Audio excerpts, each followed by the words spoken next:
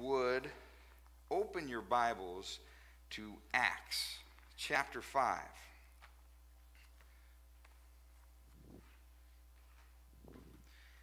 Acts chapter 5. First, I'm going to read these theme, these two theme verses out of Romans. Even though our theme verses are out of Romans, we're not going to be preaching out of Romans. For the next four weeks, we're going to be preaching out of Acts, more specifically, the prison patches, passages in Acts, to really illuminate these verses in Romans. May the God who gives endurance and encouragement give you the same attitude of mind toward each other that Christ Jesus had, so that with one mind and one voice you may glorify God and Father of our Lord Jesus Christ. We want to have one mind, one voice, one glory in God. And so we're going to be using Acts to illustrate this oneness that we are to have. So today, Acts chapter 5, I'm going to start reading with verse 12. The apostles performed many signs and wonders among the people, and all the believers used to meet together in Solomon's colonnade. No one else dared join them, even though they were highly regarded by the people. Nevertheless, more and more men and women believed in the Lord and were added to their number. As a result, people brought the sick into the streets and laid them on beds and mats so that at least Peter's shadow might fall on some of them as he passed by. Crowds gathered also from the towns around Jerusalem, bringing their sick and those tormented by impure spirits, and all of them were healed. Then the high priest and all his associates, who were members of the party of the Sadducees, were filled with jealousy. They arrested the apostles and put them in the public jail. But during the night, an angel of the Lord opened the doors of the jail and brought them out. Go, stand in the temple courts, he said, and tell the people all about this new life. At daybreak, they entered the temple courts, as they had been told, and began to teach the people. When the high priest and his associates arrived, they called together the Sanhedrin, the full assembly of the elders of Israel, and sent to the jail for the apostles. But on arriving at the jail, the officers did not find them there. So they went back and reported, We found the jail securely locked with the guards standing at the doors, but when we opened them, we found no one inside. On hearing this report, the captain of the temple guard and the chief priest were at a loss, wondering what this might lead to. Then someone came in and said, Look, the men you put in the jail are standing in the temple courts teaching the people. At that, the captain went with his officers and brought the apostles. They did not use force because they feared that the people would stone them. The apostles were brought in and made to appear before the Sanhedrin to be questioned by the high priest. We gave you strict orders not to teach in his name, he said. Yet you have filled Jerusalem with your teaching and are determined to make us guilty of this man's blood. Peter and the other apostles replied, We must obey God rather than human beings. The God of our ancestors raised Jesus from the dead, whom you killed by hanging him on a cross. God exalted him to his own right hand as Prince and Savior, that he might bring Israel repentance and forgive their sins. We are witnesses of these things, and so is the Holy Spirit, whom God has given to those who obey him. When they heard this, they were furious and wanted to put them to death. But a Pharisee named Gamaliel, a teacher of Sanhedrin, a teacher of the law, was honored by all the people, stood up in the Sanhedrin, and ordered that the men be put outside for a little while. Then he addressed the Sanhedrin, men of Israel. Consider carefully what you intend to do to these men. Some time ago, Theudas appeared claiming to be somebody, and about 400 men rallied to him. He was killed, and all his followers were dispersed, and it all came to nothing. After him, Judas the Galilean appeared in the days of the census and led a band of people in revolt. He too was killed, and all his followers were scattered. Therefore, in the present case, I advise you leave these men alone, let them go. For if their purpose or activity is of human origin, it will fail. But if it is from God, you will not be able to stop these men. You only find yourselves fighting against God. His speech, persuaded them. They called the apostles in and had them flogged. They ordered them not to speak in the name of Jesus and let them go. The apostles left the Sanhedrin rejoicing because they had been counted worthy of suffering disgrace for the name. Day after day, in the temple courts and from house to house, they never stopped teaching or proclaiming the good news that Jesus is the Messiah. Can I get an amen? Amen. Let's say a word of prayer. Would you pray that I can deliver God's message this morning? And I'll pray that we receive it. Let's have a moment for prayer.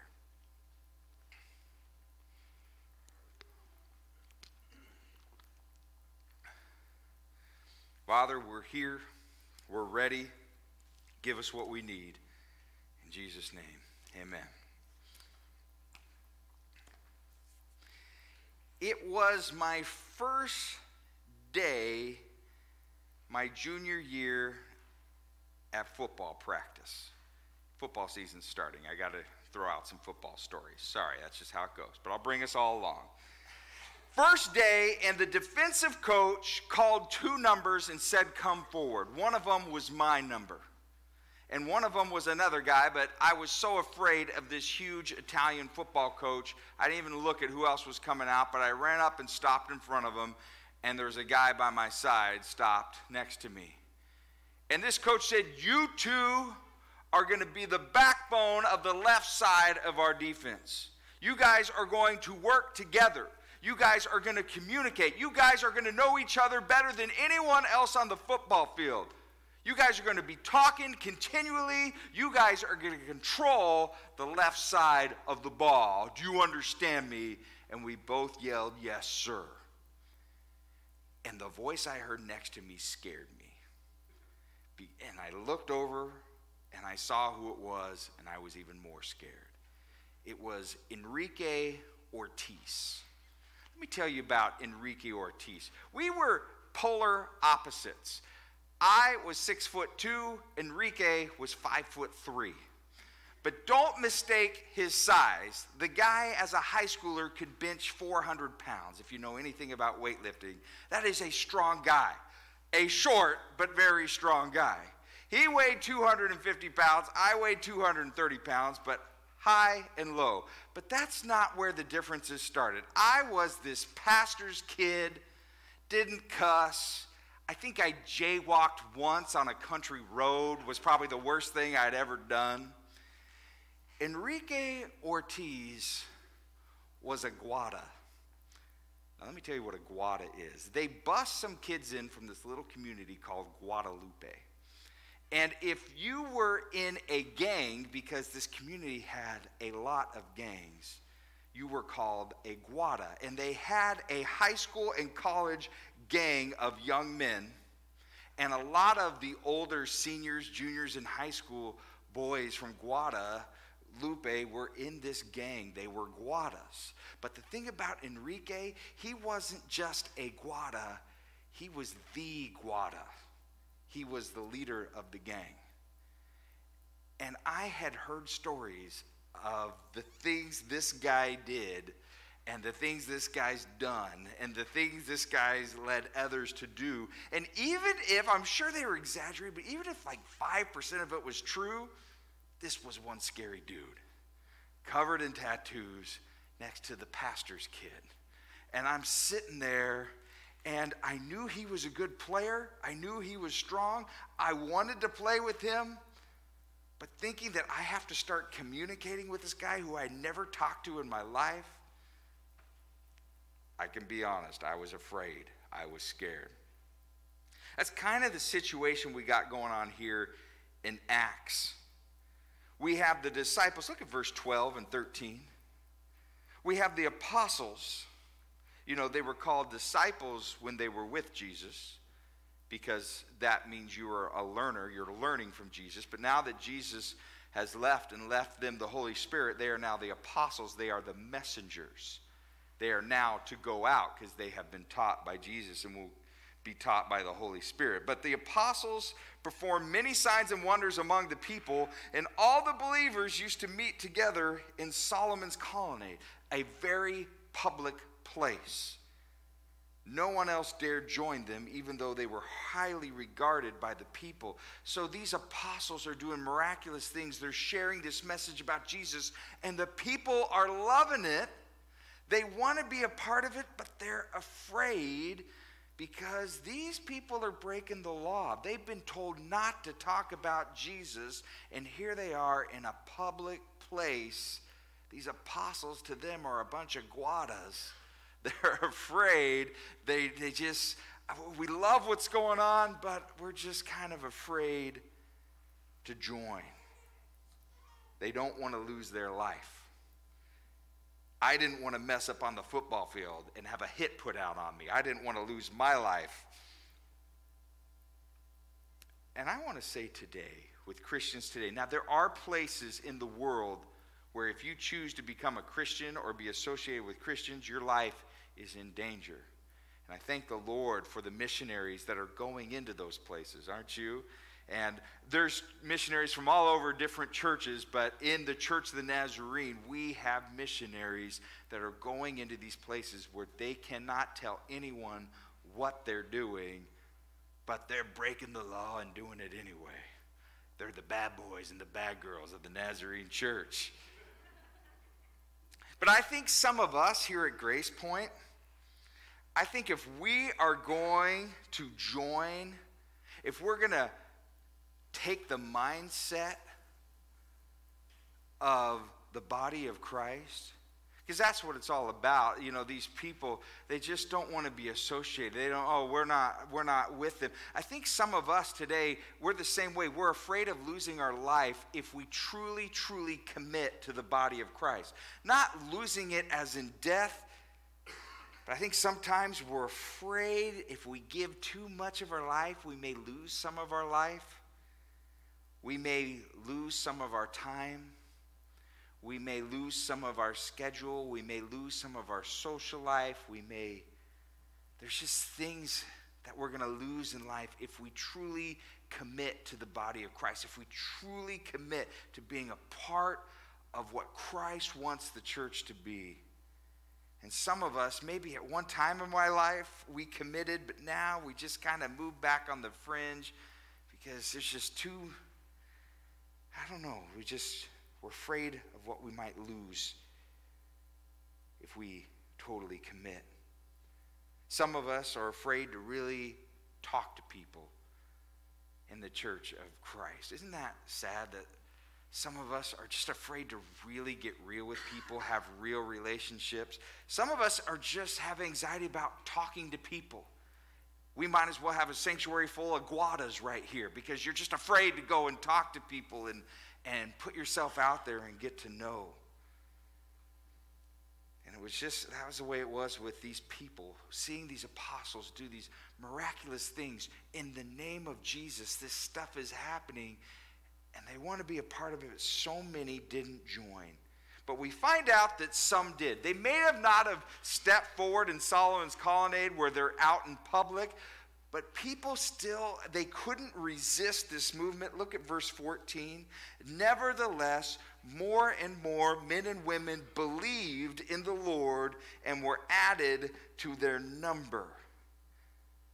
They joined them because they believed. They took the same state of mind. They just couldn't resist what they're saying. And the first step is you have to believe it. They had to unite in mind with these disciples and what they were seeing, and they believed, and that affected their heart, their soul. They believed, and man, did it pay off. Look at verses 15 and 16. As a result, so it, the previous verse says, more and more women believed, and were added to their number. And as a result of more and more men and women believing and adding to the number, the result, the direct result of more and more men and women being unified with the body of Christ, as a result, people brought their sick into the streets, laid them on beds and mats. Crowds gathered from towns around Jerusalem, bringing their sick and people tormented, and everybody's getting healed as a result of people unifying, becoming one mind, believing together, as a result of that, the apostles are doing greater things than they were before. What they were doing on their own as the 12 wasn't as powerful as what they were doing when the crowds unified when they came around. When we take on the same mind of God together, we are going to be more effective, not just as a group, but individually. Peter was more effective in and of himself when more and more believed. When you're part of the body of Christ, when you're unified with the body of Christ, you are more effective. What did Peter's shadow healing someone have to do with the others joining the movement? I don't know, but it was a direct result. God started doing things when people were united. Here's why I'm bringing this up.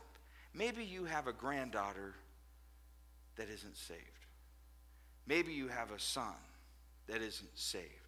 Maybe you have a sister or a brother that isn't saved. Maybe you have a childhood friend that is just not saved. Maybe you have a neighbor that isn't saved and you've been trying and trying and praying and praying. Have you ever thought that you and I, when we have people in our lives that we want to minister, that we can minister to those people more effectively if we are more united with the body of Christ? Have you ever thought about that? Because that's what's happening right here. The disciples are doing stuff, but once they are united with the people, they're really doing stuff. And sometimes we're kind of lone wolfing it out there. We're coming to church, we've got a couple people, but we're not really coming in with a heart or a mindset that I am a part of this body but here, according to Scripture, once they are united with people, their individual ministries are more effective. And I can be more effective with that childhood friend that needs Christ the more I'm connected to the body, the more I'm unified in mind and spirit with the body of Christ, the more effective you'll be with your son or your grandchild or whoever it is you have a heart for. You ever? I think sometimes we don't realize things like that are connected. The more we're connected to the body, the greater our ministry, the greater things God's going to do, the greater healings are going to happen when we are unified. I mean, wouldn't it be worth us at Graceport unifying, Grace Point unifying if that meant Albany was going to see more of the power of Jesus Christ? Would that be worth it? That would be worth it. We have to come together. We have to be of one mind. We have to be unified together. And we're going to see what God can do. God makes us more effective when people come together, when we have the same mind in God. This Greek word for join together, when they join together, I love the Greek word, it means cemented. They were cemented together. We have to be cemented, cemented together. And when we are, God is going to do powerful things that are going to defy logic. I didn't know that could happen. I didn't know that person could be healed. I didn't know that person could be saved. It's going to happen when we unify. That's why we want to be of one mind. We want to believe together. We want to believe not individually, we want to believe together. We're in this together. More effective when you come together. That was the story of me and Enrique. It didn't take me long to realize he wanted to make this work with me. He was willing to try. And once I saw he was willing to try, man, I was able to show that I was willing to try. And he and I started talking back and forth. And he and I started really communicating, and we could do it. And then pretty soon after the whistle blows, sometimes he would throw a joke out or I'd throw a joke out. We started becoming friends. And by midway through the season, season we were buddies and we were communicating and we could tell what each other were going to do on the football field and we were friends. We high-fiving all the time. Around school we would say hi. He and i unified and man we were effective on the football field. Our coach came up with a great plan. He wanted us to high-low people. This is what a high low is on a football field. It's pretty easy. One person hits them high, the other person hits them low. There's a lot of people you don't want to go out for a pass or you don't want to go down the field. And so to stop them, coach said, I want you two to start high lowing. So you got a 250 pound, five foot three guy hitting you low, and you got a six foot two, 230 pound guy hitting you high. And we didn't have to be skilled people, because if that happens, you know what that does to the human body? That turns you into a windmill, and you just go. And he would hit him low, and I would hit him high, and that person would not run down the field. And the great thing is, when we would step up to the line and these guys on the other team would come out, you know, a lot of times the other team would watch films of the other team. And I could always tell the guys who had watched the films of Enrique and I high lowing people because they'd be walking out and these tight ends would their eyes would be like saucers. Because if you know that this guy's about to hit you low, this guy's about to hit you high, that would not be fun to go face that.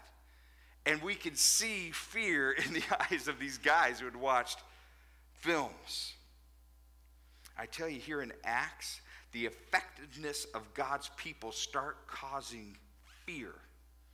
It starts, the eyes are getting wide at what they're doing. And there's jealousy. Look at verse 17 and 18. Then the high priest and all his associates, who were members of the party of the Sadducees, were filled with jealousy. They're jealous.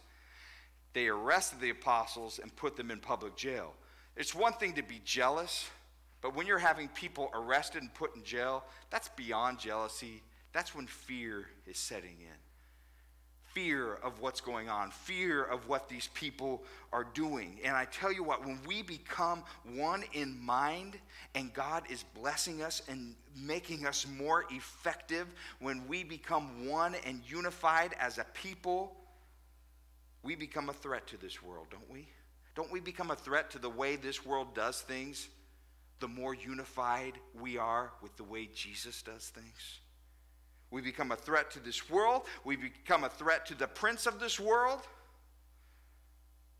And we need to expect some opposition. We need to expect pushback. If through this sermon series you make a commitment, I need to be more unified with my church. I'm going to tell you right now, on this first Sunday, right off the bat, expect some opposition. Expect some opposition from people in this community. Expect some opposition from the enemy trying to disrupt your home. Expect some opposition online. I heard there's some Christian opposition online. Don't know, but pretty sure it's there. Expect some opposition, unfortunately, by attacks within. Expect some opposition. And maybe you've seen this. Maybe you've experienced this. I've seen this before. Christian comes into a church, they're excited, they're wanting to totally connect with the church, they're wanting to be involved, they're wanting to unify with a body, and then something happens. One challenging situation happens, or one disagreement happens, or they're attacked by a worker, has nothing to do with the church for the time they're spending in church, or they're attacked by family, and it just disrupts them. And as much as they were trying to get unified, they start backpedaling because of the opposition.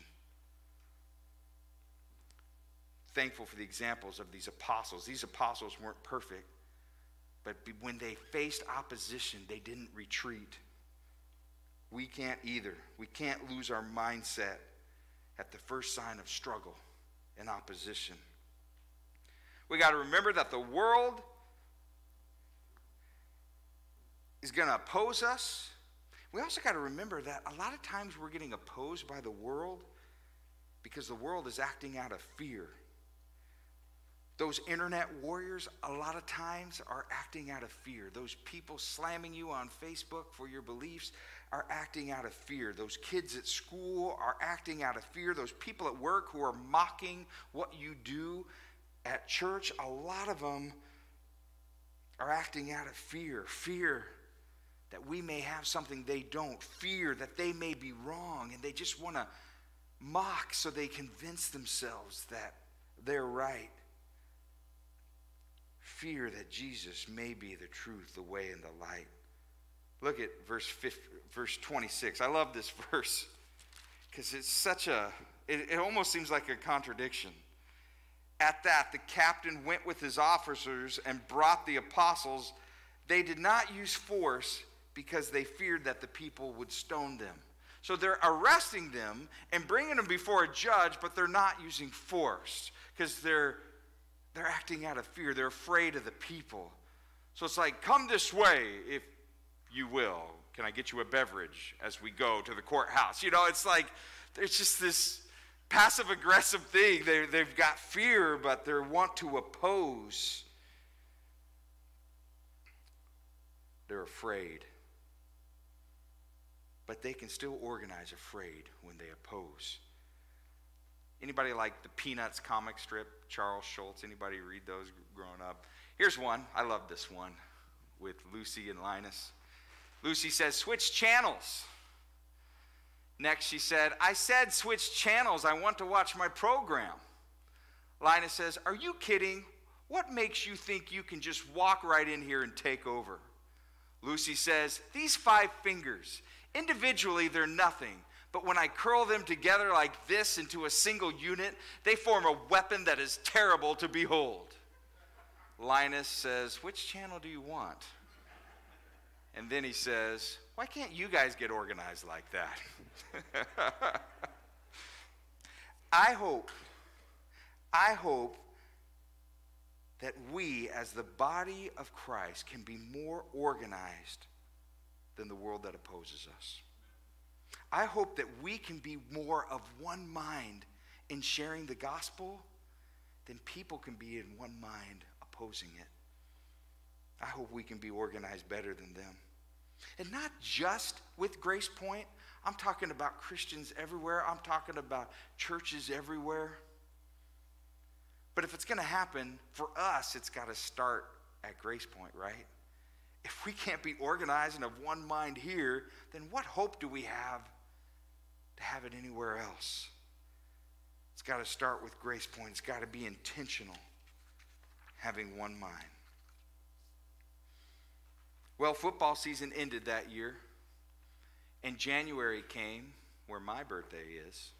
And it was my birthday, and I'm at my locker, and I'm just opening my locker and I hear a voice, and it's Enrique's voice, say, Hey, Brent! And I turn around, and Enrique's standing there, and he's got four guadas with him, four of his gang members, two on each side. And he says, Go! And when he says go, all five of them start punching me, start swinging hard, aiming everywhere. And when you got five guys punching you, I know Bruce Lee would do it, but you don't really fight back. You just try to protect yourself. And I'd seen Rocky enough where you just go like this and you're just trying to block as many as you can. But for the longest 15 seconds of my life, these guys pummeled me, pummeled me, kept hitting me and hitting me, all five of them. And I am just trying to take it. And after 15 seconds, Enrique goes, Stop! And all of them are breathing heavy because they were just punching me with all the force they had. And Enrique goes, Happy birthday, Brent. Slaps me five and hugs me. And the four guadas all pat me on the shoulders and they start walking down the hallway. And I yell out, Have you heard of a birthday card? And later that day, I'm in my coach's classroom None of the Guadas were in there, but other football guys were in there. And they could see the marks on me, and I'm telling them what happened. And a lot of the guys in there are laughing and making fun of me and laughing because I got beat up. And my coach said, Hey, how many of you guys had that happen to them by the Guada guys on your birthday? And none of them raised their hand. And my coach, I'll never forget these words, he said, That means something. And I remember walking out of that classroom. That's right. I got beat up by the Guadas. That means something. I tell you what, do you want to know the response we need to have when we face opposition? You know, when we seek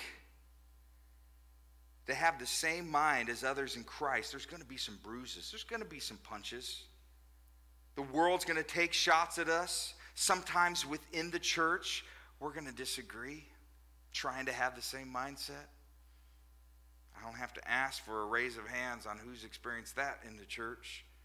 Some of us may have scars from the world, some of us may have scars from some disagreements in the church, from being united with the church, from other church members, from board members, and dare I say it, maybe from a pastor or two. If we suffer for being united in Christ, how should we respond? This is the beauty of the gospel. It's telling us this morning we need to rejoice. We need to rejoice like we just got beat up by a bunch of guadas. Look at verse 40. That's the example of the apostles. His speech persuaded them. They called the apostles in and had them flogged. That means whipped over and over and over. Then they ordered them not to speak in the name of Jesus and let them go. The apostles left the Sanhedrin rejoicing because they had been counted worthy of suffering disgrace for the name. Talk about having the main, same mindset. It doesn't say half of them rejoicing and half of them left. It says all of them were rejoicing because it was so worth it to be unified together for Christ that the suffering doesn't change that. They rejoiced. A group of people who even rejoice when they're suffering because their eyes are on Jesus. I want to be a part of that church, don't you? That's the kind of church I want to be part of. I want to close with this. I want to close with the ending speech of the one guy who had some sense to him and stood up. Let's close with these two verses 38 and 39. Therefore, in the present case, I advise you leave these men alone, let them go, for if their purpose or activity is of human origin, it will fail.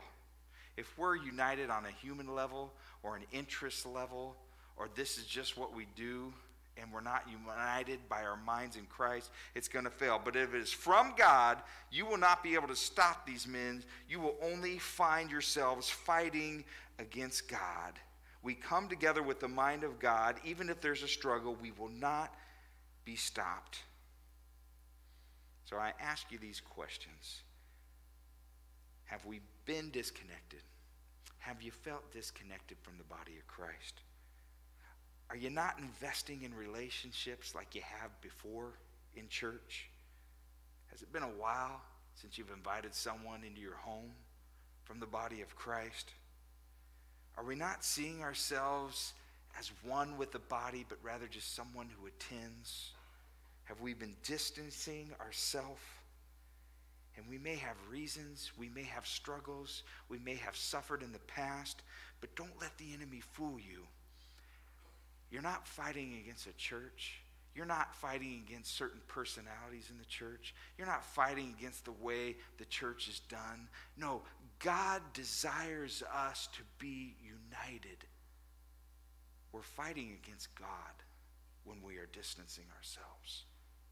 Don't fight against God you're never going to win.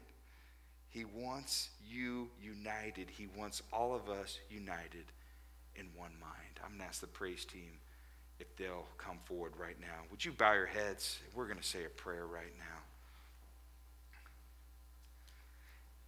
With heads bowed, I, I just want to ask this question and whether you feel united with this church or not, how many in here would say, I want to be more united with the body of Christ? Raise your hand this morning. Amen. Amen. Father, unite us. And that's not something we can do in our own strength. We just have to be willing, and you will unite us. Christ will unite us. Your Holy Spirit will unite us. And Father, we're going to be far more effective and powerful than we could ever be on our own. Father, unite Grace Point and then bless us as we minister to our friends, family, neighbors, strangers, Lord. Let people see the miracle of Christ working in our community. In his name we pray. Amen.